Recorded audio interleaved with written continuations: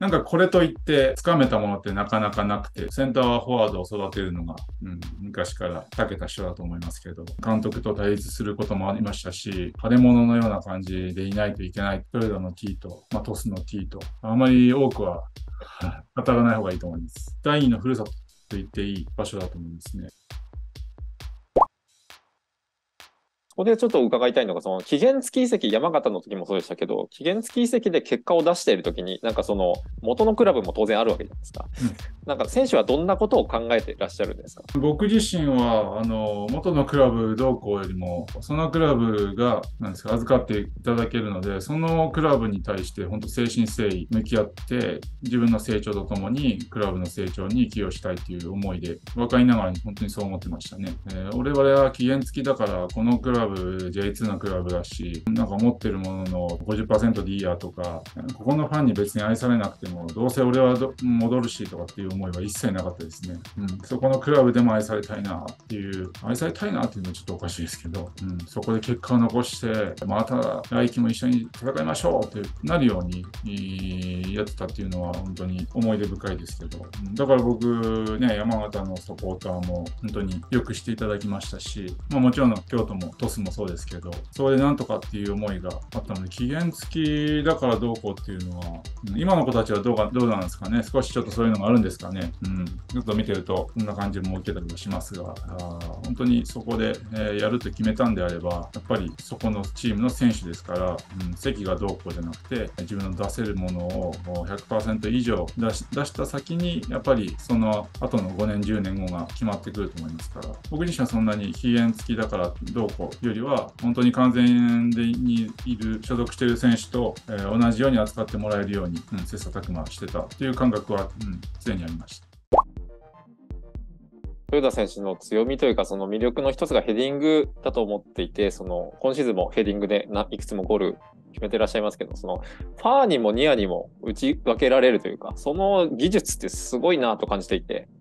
一方で、そのなんかど、んな判断でこう、判断で構造を決めてるかっていうのも気になるんですけど、そのあたりっていかがですか？ヘディング自体は自分の特徴の一つなんで、まあ、足で扱ってるのと同じと考えてもらえばいいと思うんですけど、右足で右利きの選手が右の角にシュートを狙うのと同じで、それが頭の側に変わってるだけというか、唯一違うのは常に空中にあるものなので、再現性がないというか、なので僕自身今もそうですけど、これもまでずっとサッカー界がやっている通例通りのクロスシュートとか、まあ、いわゆる極論を言うとシュート練習、本当に再現性のないような、試合をそう描けないとか、想定できないシュート練習っていうものは結構あんまり無意味だと思っていて、僕はどっちかというと練習の、練習は確認で、本当にボコボコ外してシュート、足も頭も。でもちょっと感覚的なものは、ちょっと思い返すんですよね、打った後に。たまにシュート練習とかでも足の振りとかをこうエアーでこう終わった後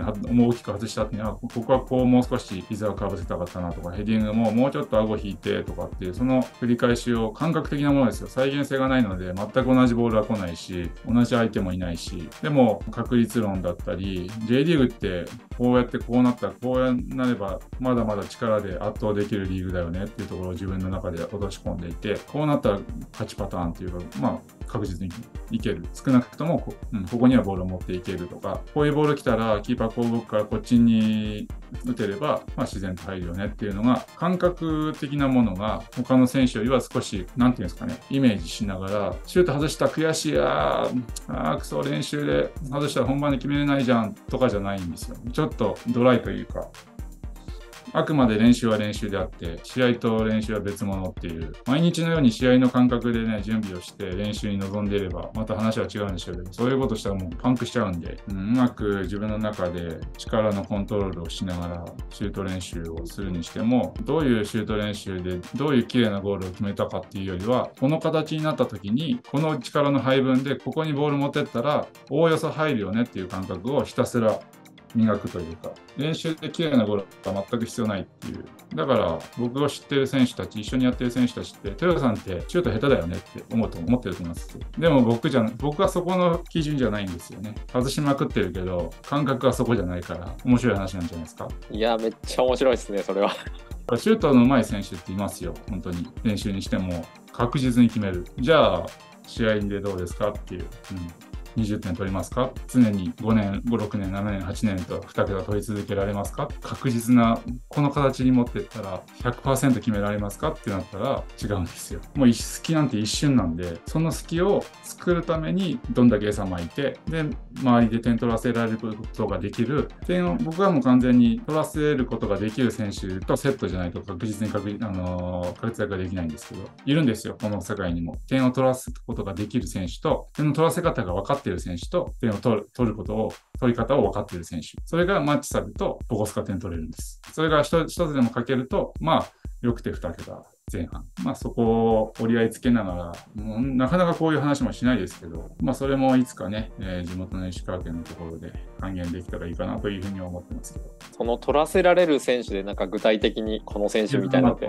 え水沼孝太。藤田直之、あの辺なんかは、もうだから、鳥栖の頃って僕、あんだけ点取ってましたけど、練習でここに出してくれなんて一言も言ったことないんですよ。こうなったら、こうだよねってお互いに描けてるんで、そしたら、豊さんここだよね、ここいるよね、ここだったら決めるよねっていう状況なんで、だから僕は他のストライカーと、あと久さんとかは多分、すごく要求すると思うんですよね。うん、こうなった時にここ出してくれっていう。僕はその感覚ではないんですよね。どっちかというと、一瞬の隙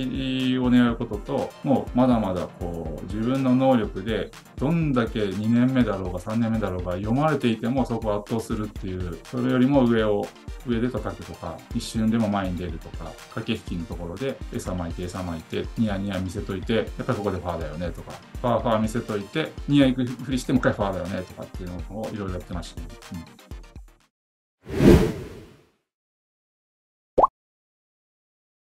で、ちょっとあの、その2018年にウルさんに、ウルさんに、あの、期限につき移籍されたと思うんですけど、あれをその決断された理由っていうのは何だったうんまあ僕自身がチャレンジしたいっていうところがまず一つ。ここまでね突にお世話になって国内で J1 クラブに移籍するってことはできなかったので海外だったらありだなっていうところもあってまあいいタイミングで僕も出場機会を少しずつ失っていましたしまだできるんだけど、うん、まあなんとなくですねクラブとしても次のっていうところを考えてるっていうのは冊子は作ったというかさすがに長くいるとね、まあ、そういうとタイミングでもあったので、うん、ACL を経験できるという意味で、非常に、えー、興味深かった。ただ、選択をする上で時間がなさすぎて、情報がない、選択を迫られる期間が本当にもう1週間もない、5日とか4日で決めてくれっていう話だったので、もう本当行っちゃう、行っちゃうか、うん、チャレンジするかと思っていて、またいろいろ勉強になってっていう形でしたね。際にその韓国でのプレーを経験されてその感じたことだったり掴んだものっていうのはいかがですか？まああのよりね、えー、日本人の良さっていうものを痛感したかなというふうに思います。本当に近いけど遠い国だし遠くはないけど全く、えー、近いものがないわけでもないというか難しいところですけど福岡からだったら本当プサンまで30分ぐらいで着いちゃう30分言い過ぎかな？1時間かかんないぐらいで着いちゃうので福岡から東京行くよりは近くて韓国に行くのはなんで、上がったと思ったらすぐ下って到着する時にはもう全く違う景色というか、もう屋根の作り方、家の作り方から違いますし、こんな時間が進んでないのにこう変わるかっていうぐらいのと、まあ、国民性だったり、うん、国の考え方だったり、まあ、習教わってきてる、もちろん文化もそうですし、サッカー文化のところでも、うん、全然違いはあるっていうところは本当に痛感しました。日本人の良さとしては、やっぱり相手のことを思うとか、それは言語にしてもそうだし、身振り手振りでもそうだし、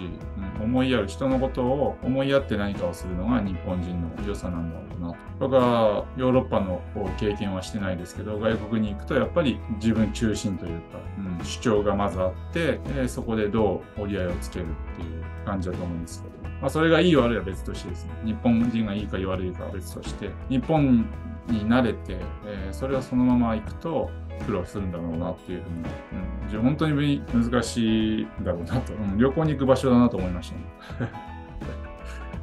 まあ僕が本当にでもあのいろいろ経験させてもらって、えー、変な差別はなかったですし、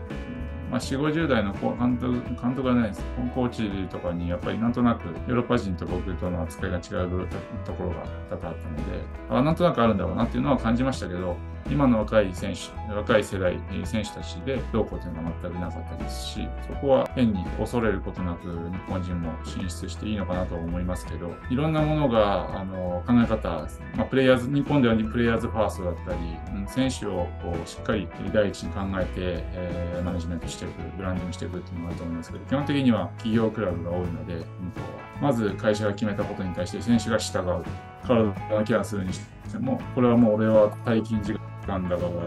体を見ることができないから明日にしてくれとか、もう平気でな 起こるんで、だから、まあ、経験がある選手が行くよりは、武者修行で若い選手が飛び込んでいくっていうのが非常に合っている国なのかなというふうな感じは受けました。やっぱり僕は石川県で生まれて、石川県で育って、華々しい僕の結果を知ってますので、今から、えー、金沢が東京に変われるわけではないですし、けどそれ違うよっていう風になったんであれば、ヘディングドランカーになる危険性もありますから、戻ってくるのが少し遅かったかもしれませんね。何十年かかるか分かりませんけど、これからも続けていきたいなというふうに思っています。